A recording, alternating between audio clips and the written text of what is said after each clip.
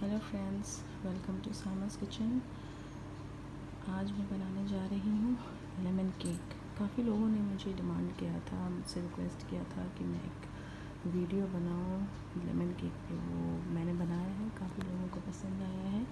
तो इसलिए मैंने सोचा कि क्यों ना उस पर एक वीडियो बना लिया जाए। सो so, जो चीज़ें रिक्वायर्ड हैं वो है one cup maida three fourth cup sugar. 3 4 cup refined oil vanilla essence. Lemon zest. ये दो लेमन का मैंने जेस्ट निकाल लिया है। This is two lemon juice two दो लेमन का मैंने जूस निकाल लिया है। Two eggs then half teaspoon मैंने बेकिंग पाउडर लिया है और वन फोर्थ टी स्पून मैंने बेकिंग सोडा लिया है। And this is tutti frutti and uh, थोड़ा सा food colour that's it so let's get started तो इसमें मैंने दो अंडे डाल दिए हैं। तो हम थोड़ा फेंक लेंगे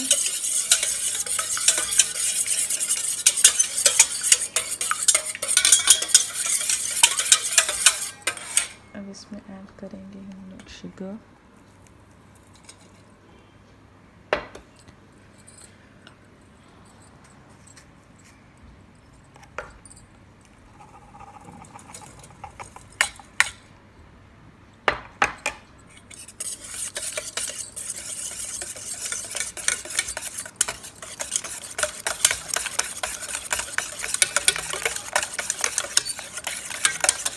लम्प नहीं होना चाहिए।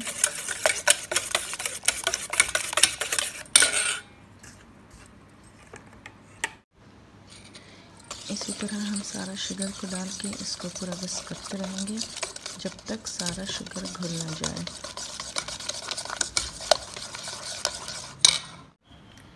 शुगर एकदम अच्छी तरह से घुल गया है, अब हम इसमें रिफाइंड ऑयल डाल देंगे।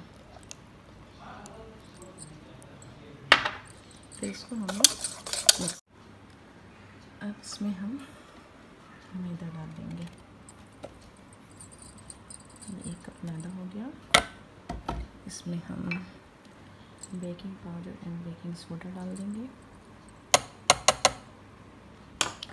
और अब चाहे तो इसमें पिंच ऑफ़ सॉल्ट भी डाल सकते हैं। मुझे अच्छा लगता है, इसलिए मैंने डाल दिया।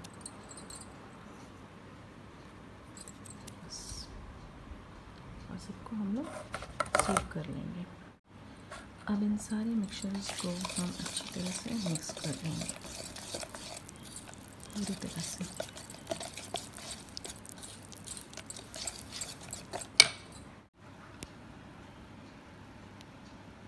अब इसमें डालेंगे वन टीस्पून वनीला एसेंस और फिर हमें इसे मिक्स कर देना है।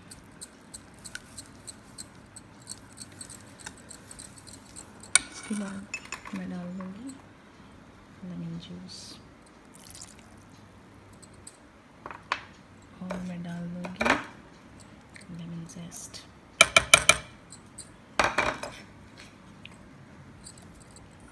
और इसे हमें मिक्स कर लेना है अच्छी तरह से।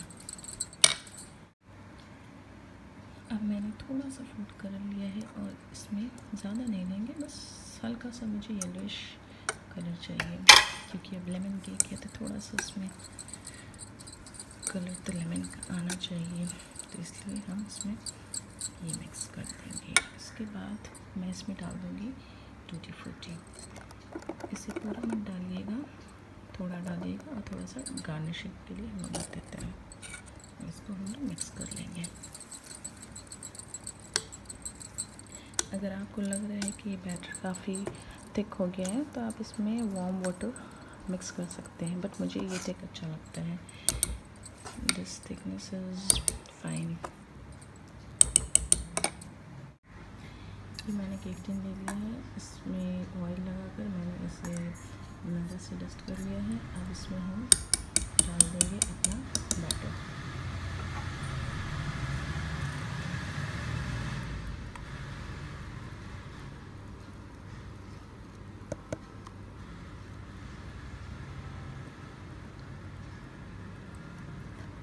अगर आपको लग रहा है कि एक बैटर काफ़ी थिक है तो आप इसमें हॉट वाटर भी ऐड कर सकते हैं।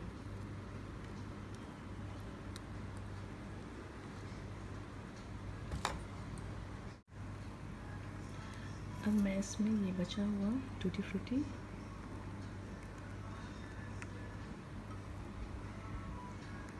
डाल दूँगी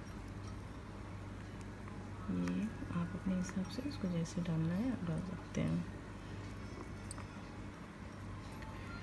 मैंने ये पूरा डाल दिया है। देखिए फ्रेंड्स अभी से ये कितना अच्छा लग रहा है। बनने के बाद ये काफ़ी अच्छा बनता है, अब बहुत अच्छा टेस्ट करता है। वो लेमन का जो फ्लेवर आता है ना, वो इस केक को बहुत अच्छा बना देता है। ये मैंने कुकर लिया है। और उसमें एक ये जाली डाल दिया है ये केक मैंने कुकर में डाल दिया है और इसे अब हमें हमें 45 मिनट्स तक धीमी आँच पर बेक करना है let's check it. Is it done or not? So, ये knife clear आया है मतलब done. सो so फ्रेंड्स हमारा ये केक रेडी हो चुका है। आप देख सकते हैं इसमें कितना अच्छा कलर आया है। और ये